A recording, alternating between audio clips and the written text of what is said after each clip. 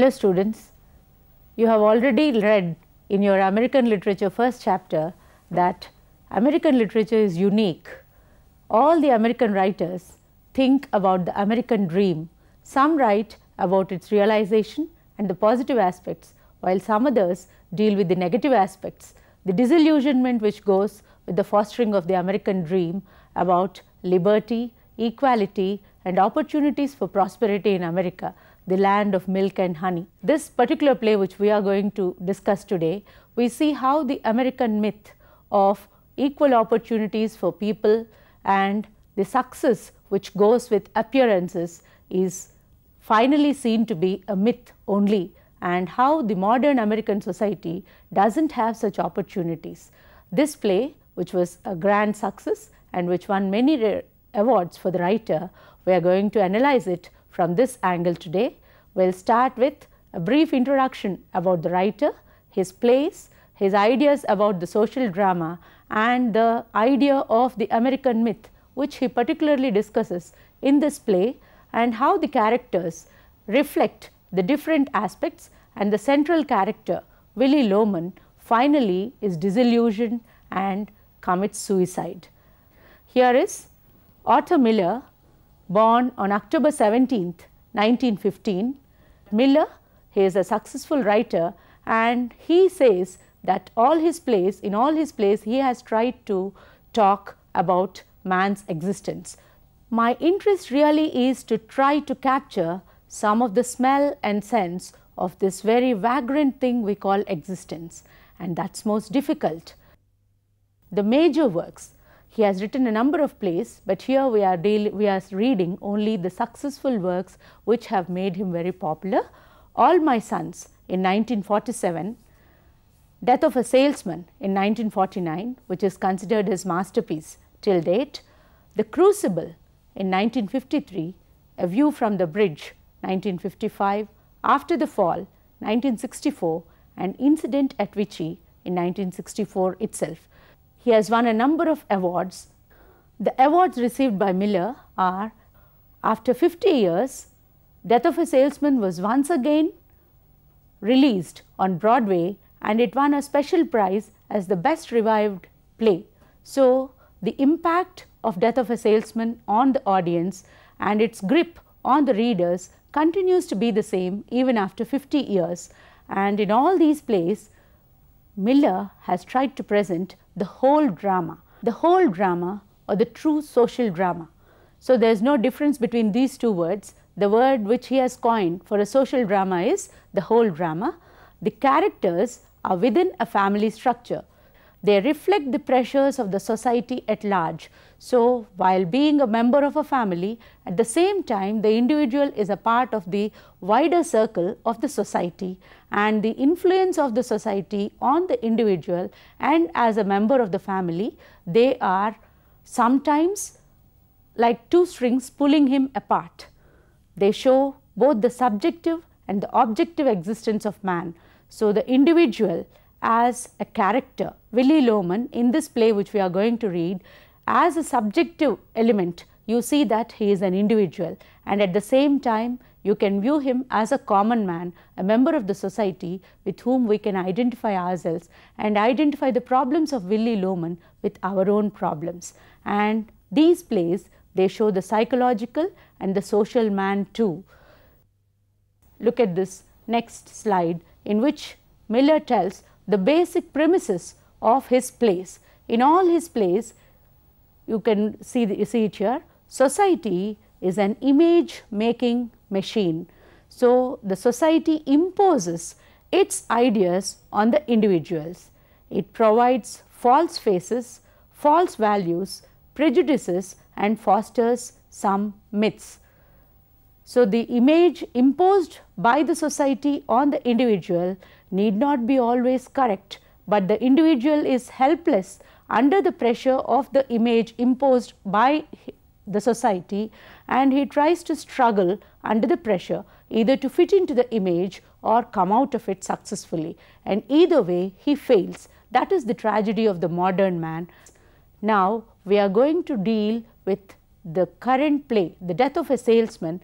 Death of a Salesman initially had look at the uh, slide here the title the inside of his head that means when he wrote it for the first time Miller wanted it to be completely as an internalized drama all the characters being present only in the mind of the central character of Willy Loman, but later he made some changes.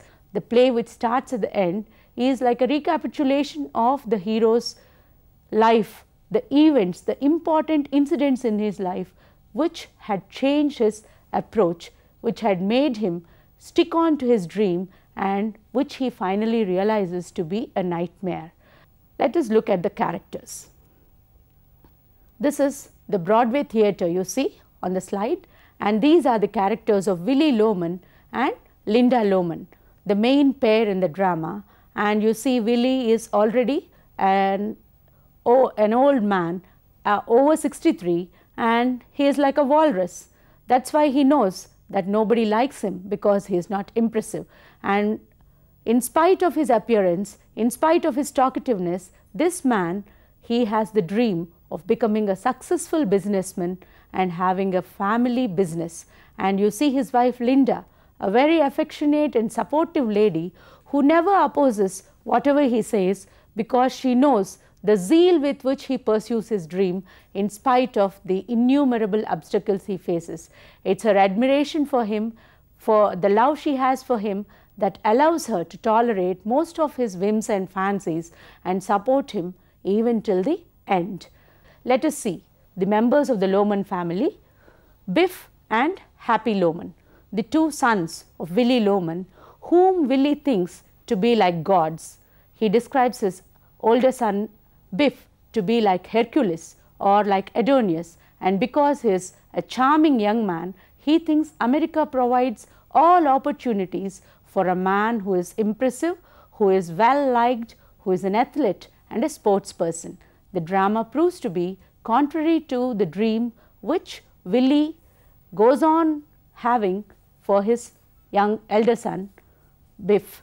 Happy on the other hand is really a happy fellow who does not have any aims in his life, who is just worried only about the girls with whom he spends his time and even Willy does not have much to dream about Happy because Happy himself is a dreamer who thinks that he can succeed just because he has it in him. He never tells us what he has in him.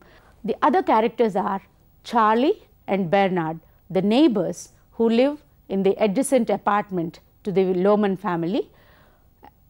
Contrary to Willy, Linda, Happy and Biff, Charlie and Bernard are very practical in their approach. They are hardworking and they have no special dreams so, they take life as it comes. The other characters are Howard Wagner, Miss Frances, the woman, Ben Loman. Ben Loman is the brother of Willy Loman. Loman Sr., the father of uh, Ben and Willy, Oliver, a friend of Biff and Dave Singleman.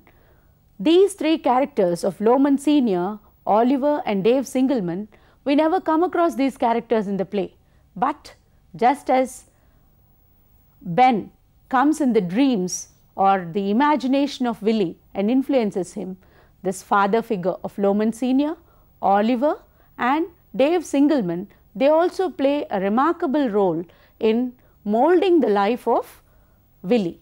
These are the major characters in the play and that woman also, though her name is never mentioned, it is only mentioned once while introducing her to Biff, Miss Frances. because of the contact he had with her, the intimacy he had developed with her, this lady also becomes a part of his conscience and this guilt with which he suffers throughout the play is because of this lady with whom he had spent a night at Boston. So, all these characters they are directly or indirectly responsible for the failure of Willy Loman in his life and they play an important role. There are some characters who are very realistic, who try to teach him what is right and what is wrong. But Willy being a dreamer, he likes to trust only those people who encourage him in dreaming and not those who tell him to come out of his dreams, realize the truth and face life as it should be. Now, There are some myths which this play fosters. Let us look at those. Be liked and you will never want. So, this is the first myth. If you have a physical appearance which is attractive, if you are liked by the society, you will not want anything.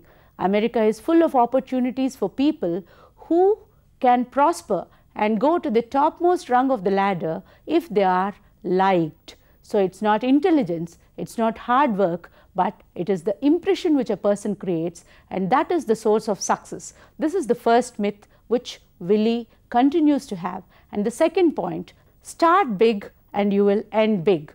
So, it is always better to have high hopes instead of starting at a low level and then trying to go step by step to the topmost part. Willy thinks that if you have high dreams, if you ask for a big loan, that would only show that you are a big man.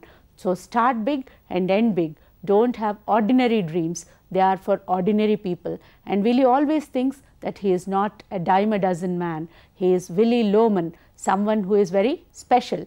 He values his name, he values his family without knowing what his family is really worth. The next point, personality always wins the day. And what is personality according to Willy?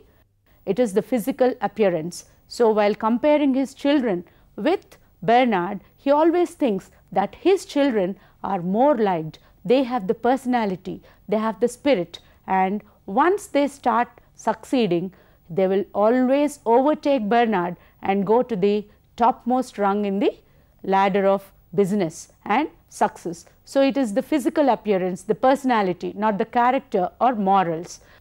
America is full of beautiful towns and fine upstanding people. This is also once again a dream of Willy because he thinks that America is a land where upstanding people still admire and respect friendship, have sentiments and give equal opportunities to those who work. So, he thinks that America is a wonderful land and even towards the end he thinks it is only the overpopulation that has brought the problem. The jungles are burning, the, the jungles are ablaze, the opportunities are decreasing, but, but for the crowded cities he thinks America is a beautiful country with towns and upstanding people, people who are respectable and the play proves otherwise. There are some more myths which Willy fosters. Let us look at those also before we go into the play and see how they are demolished. Look at the next slide. You have a new continent at your doorstep and you can fight for a fortune up there. This is the line which is spoken very often by Ben, Ben Loman, Willy Loman's brother in the play and he tells that America ha has so many opportunities. So, the concept of the West, what does West stand for? West is always a dreamland where there are no rules. If a man has physical strength, if he can fight for something, if he has the guts, he can just go and pick up whatever he wants. So, this new continent into which so many pioneers have come, in the initial stages, this American dream was a reality. They could settle wherever they wanted, they could get whatever they wanted if they had the adventurous spirit and the courage. But that is no longer possible in the modern world, but Willy does not realize this and he still clings on to this dream that there is a new continent out there to be explored and in another occasion he says the world is like an oyster and you can just open it and take the pearl out of it. So, while he refers to the jungle or to the continent or compares the world to an oyster, he talks about the infinite opportunities which the unexplored land of the West offers to the pioneers and Willy still hopes that his sons also would have those opportunities. Now, look at the next point in the slide. A man who can't handle tools is not a man. This is also another myth because in the initial stages the pioneers they needed the resourcefulness to do everything with their hands and in the industrialized world, in the modern world, there is no need to know all these things, but still Willy thinks that he is far better than Charlie and Bernard who can't handle even a screwdriver or hit a nail in the proper place. So, he thinks they are feminine, they are not ma manly enough and he feels proud of himself and his children without realizing that the world has changed. Now, the importance is, is to intellect not to the physical valor. Look at the next point in the slide. If at first you do not succeed, you try and try again. This proverb all of you must have heard. So, if you fail initially, take that as a stepping stone for success and try to do the same thing again and again. But this is an old proverb according to Bernard. Towards the end of the play, when Willy says that in spite of a number of failures, he would like to try again and again to succeed, to realize his dream, Bernard says, Sorry, I don't think that is the new proverb. I think if once you fail, you should better leave it and go to an area where you can succeed. So, if you do not succeed initially, to succeed in the same area would need more pressure and it would sometimes break you down. So, better to realize what you are capable of, what your real worth is and then try to do that instead of trying to stick to the image which the society has imposed on you. So, Willy because he does not realize this, he crumbles towards the end. Now, there is one more myth in the slide, look at it. It is not what you do, it is who you know and the smile on your face, it is contacts. So, you see the contacts the people you know in the society, the relationship you maintain with others in the society, that is the stepping stone for success according to Willy. And he thinks as a salesman, because he had gone to all the uh, states in America, he knows many people, he thinks that people love him and his contacts with so many people in the different states they are going to be like an open sesame. That is what he says. My contacts are going to be an open sesame for you kids when you grow up and we are going to have a family business. So, you see in this play all these ideas which become a part of Willy Loman's dream, they indirectly influence him to take the wrong choices, take the wrong steps and finally get disillusioned with this world which never gives him an opportunity to succeed. Now, let us see there are some characters in the play who have really succeeded based on the American myth and they are responsible for Willy to think that such incidents are possible even in today's world. The romantic past because that is the world of dreams where everything beautiful is possible. So, there are some Willy's role models. Loman senior, he is Willy's father, he is a great inventor. He earned more money by selling his gadgets. There are, those are not really any scientific gadgets. He made some flutes and he sold them in the West and he could earn more money than Willy ever could in his whole lifetime. So, the West offered opportunities for people who could just work as they wished, sing and go along from place to place and be a success. And the next character you see here, it is Ben Loman. He is Willy's brother. He went into the jungle when he was 17 and he came out successful when he was 21, really rich, he says. So, Ben Loman is success incarnate, a genius. He started with the clothes on his back and ended up with diamond mines. There are some other characters also who influence Willy. Dave Singleman, he is a successful businessman. People loved him. He could sell even in his 84th year. He had contacts and died the death of a salesman. Death of a salesman in this expression, this is only used in this one place while talking about Dave Singleman. And in the name itself you know, he is a single man, only one of his kind and Willy being the lowman or the common man, he aspires to be a unique, an extraordinary salesman who had contacts, who could influence people and become a legend through his salesmanship. He could sell himself because of his contacts. And the next character you look at the slide, Frank Wagner, a businessman with a heart. Even he belongs to the previous generation where business and sentiments were not two separate channels, but where a businessman also could be kind hearted. He valued sentiments, made deals across the table and Basing on these four characters, Willy thinks that his life also would be the same, but let us look at the reality. The bitter truth of the present. Biff Loman, uh, he is the son, he walks into the jungle but gets lost. He never finds roots. So, even in his 34th year, Biff fails to find any job where he can be happy and he blames his father because his father had never really trained them to do anything. He had just filled them with hot air, he says, because he always said that success would come searching for them and they need work hard. They never learned to do anything in the right manner. Their father only told them that success would be theirs for the asking. So, he still does not find his roots, never settles in his life and he never finds good opportunities in the West in spite of working on a number of jobs there. The next character is Willy Loman himself. You see what he does in the slide? He can't sell anything. A salesman initially it is himself that he sells, the impression that he makes that makes the customers buy anything which he sells. But Willy he fails to sell himself. It is only in his dreams that he is the New England man, the greatest man who shakes hands with the mayor of Providence and a man for whom all the customers are waiting. In reality, you look at the points about Willy, he is not liked, nobody is impressed, they call him even a walrus, he is discarded like an orange peel and he dies unsung. This is the reality about Willy and it is a very pitiable one because here Miller tries to tell us the problem with the modern society, the industrialized society where the common man feels insecure and he is discarded.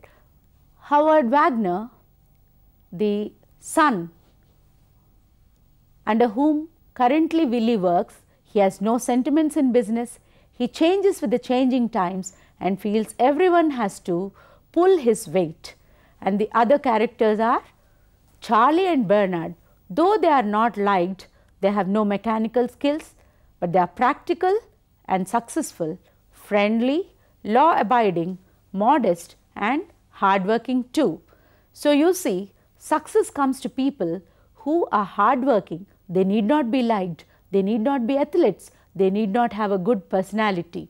What matters in modern America is people who have brains and Willy fails to realize this. So, the problem with Willy, let us see. As a salesman, he is like a walrus. He is not liked. He talks too much, doesn't know that sentiments can't be cashed upon. Ironically, he is a salesman who fails to realize that brand names are not the real thing and who doesn't even know that the insurance company is not going to honor his death. So, Willy finally when he dies, his death is the tragedy of a salesman who lives in his dreams, who fails to grow as Charlie says because he refuses to grow. He sticks on to his dream without realizing that the conditions around have changed and the misery of Willy Loman is that he thinks success is equivalent to genius, is equivalent to wealth and he fails to realize that he is not capable of succeeding in a society which does not encourage the old values. Willy as the head of the family, he likes to be the most idolized father. He hopes that his children would admire him as the greatest and in their childhood they used to tell him that he was their hero and that he was the greatest father.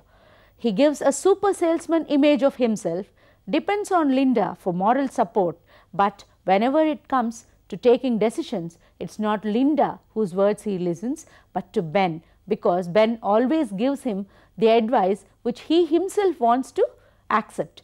These are the ideals according to which he lets his children grow and finally they realize that they were all given a fake or a false dream and they were always dreamers in their house. They never uttered truth even for 10 minutes. So, as an individual in a family he has failed, as a salesman in the society he has failed.